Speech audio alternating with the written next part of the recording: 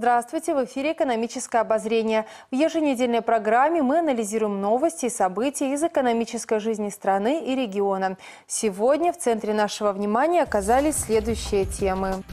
Президентские указы расширили возможности для оказания услуг в сфере агроэкотуризма и в ремесленной деятельности. В Беларуси разработали новые дифференцированные тарифы на субсидируемые услуги ЖКХ для населения – Эксперимент. В нескольких домах Гомеля установили счетчики воды с дистанционным управлением. Это исключит э, ошибки абонентов при снятии показаний. А теперь об этом и не только подробнее. Возможности для оказания услуг в сфере агроэкотуризма расширены в Беларуси. Это предусмотрено указом номер 365 о развитии агроэкотуризма.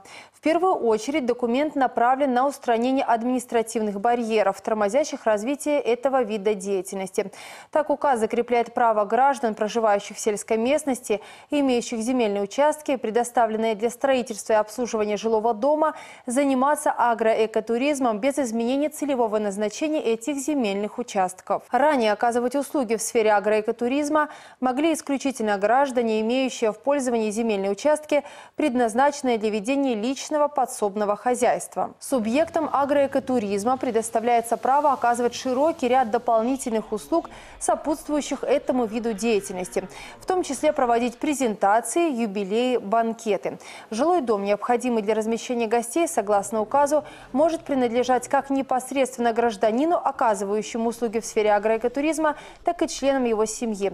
При этом также допускается возведение гостевых домиков, которые не подлежат включению в жилищный фонд. Планируется, что указ будет содействовать повышению как туристической привлекательности страны, так и вовлечению в экономическую деятельность населения, проживающего на территории сельской местности. Документ направлен на стимулирование деловой активности и исключение излишних требований, предъявляемых к субъектам хозяйствования. Еще один указ номер 364 расширил перечень видов ремесленной деятельности. В него включены все виды творчества, осуществляемые на основе ручного труда. Также уточнены места места и способы реализации ремесленной продукции. Помимо продажи своих изделий на рынках, ярмарках и в иных местах, определяемых местными исполнителями и распорядительными органами, ремесленники смогут продавать изделия непосредственно в мастерских, доставлять и пересылать продукцию покупателям. Ремесленники также смогут рекламировать свою продукцию, в том числе в интернете. Принятие всех этих мер будет способствовать развитию народных промыслов, сохранению и приумножению традиций ручного труда, а также вовлечению трудоспособного населения в экономическую деятельность. Указ входит в пакет документов, направленных на развитие предпринимательства и стимулирование деловой активности. Продолжаем выпуск.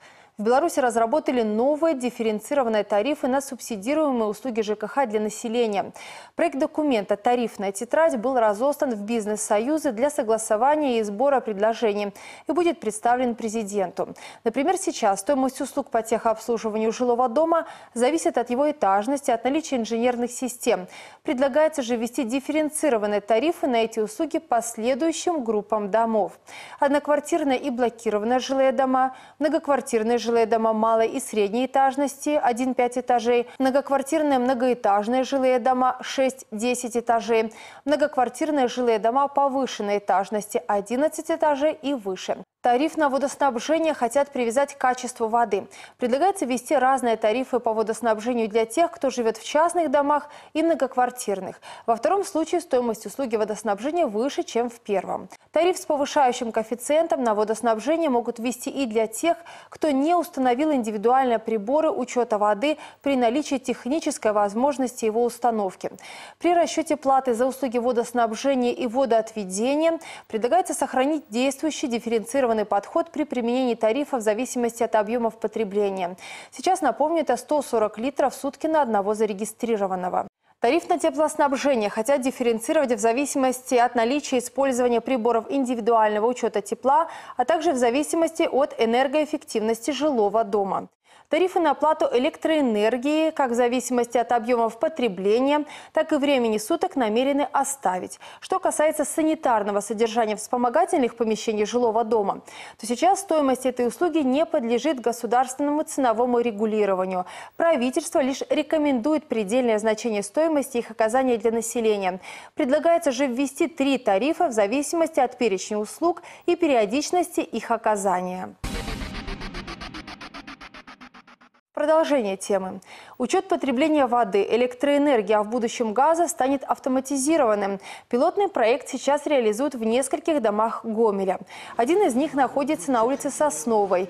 Действует система следующим образом. В 72 квартирах установлены специальные модули, которые фиксируют информацию о потребленных объемах и через систему GSM данные в режиме онлайн отправляют в расчетные центры. Во-первых, так можно сразу выявить неплательщиков, а у контролеров исчезает необходимость необходимость ходить по квартирам и сверять показания счетчиков. Мы совместно с Гомельэнерго все-таки выполнили этот э, пилотный проект по данному дому. Что это дает? На сегодняшний день первое – это мы можем контролировать все утечки, несанкционированный отбор воды в доме. Это касается сетей внутридомовых. Второе – это то, что человек получает возможность уже контролировать свою оплату четко на последний день месяца, сколько потребил данной услуги по водоснабжению, столько и может заплатить, можем и контролировать. В данном доме мы объединили усилия энергетиков и Гомельского водоканала по автоматизации системы учета данных. То есть в квартире у жильца установлено два водяных счетчика с возможностью передачи данных. Э, передача данных осуществляется на электрические счетчики, которые являются коммутационным устройством. И вся информация сводится в коммутационный блок, который находится в электросчетовой данного дома. Эм, также в Гомеле есть два дома, в которых также осуществляется дистанционный съем Э, показаний прибора учета воды, но там без э, включения в данный процесс электрических счетчиков. Здесь мы систему объединили с энергетиками. Ну, посмотрим, какая система будет давать лучшие результаты, будет более дешевая эксплуатация. В будущем, когда роботизированными системами оборудуют весь жилой сектор, самостоятельно снимать показания со счетчиков воды и электроэнергии будет не нужно. Пользователи интернет-банкинга увидят свои кубы или киловатты в личном кабинете. Тот, кто оплачивает жилищно-коммунальные услуги в банке или на почте, также смогут на месте получить информацию о потребленных объемах. Система дистанционного съема данных с прибора учета расхода воды, она будет решать несколько задач. В первую очередь это улучшение качества обслуживания наших абонентов, то есть мы выходим на более новый современный уровень. Данные будут сниматься автоматически, дистанционно, последний календарный день месяца, и далее выставляться уже готовые счета, платежную систему АИС расчет. Это исключит э, ошибки абонентов при снятии показаний, искажения данных, ну и, как правило, сведет к минимуму перерасчеты, э, обращения, жалобы и так далее. Кроме этого, э, мы сможем получить четкий баланс между водой, поданной в сеть, и потребленной абонентами, потому что на сегодняшний день, к сожалению, все абоненты следуют правилу снимать показания в последний день месяца, ну и далее их оплачивать. Но уже имея этот четкий баланс, э, сможем оперативно оценивать состояние системы, своевременно выявлять э, повреждения на сетях, подключение несанкционированных абонентов, хищение воды и так далее. Ну и, в принципе, своевременно полученная плата будет направлена в дальнейшем на реконструкцию, развитие системы и улучшение качества обслуживания абонентов. Кстати, новостройки планируется сразу оснащать новыми системами. Хотя пока это хорошее и полезное дело, требует решения ряда законодательных моментов и, разумеется, больших денежных затрат. И последняя новость выпуска. 1 ноября в Гомельском горосполкоме пройдет аукцион. Участок на улице Мазурова предназначен для размещения торговых киосков или киосков бытового обслуживания населения. Участок на улице Пеняськова предполагается использовать для строительства и обслуживания объекта общепита системой МАК-Драйв. Участок в Красном Маяке рассчитан на строительство одноквартирного жилого дома.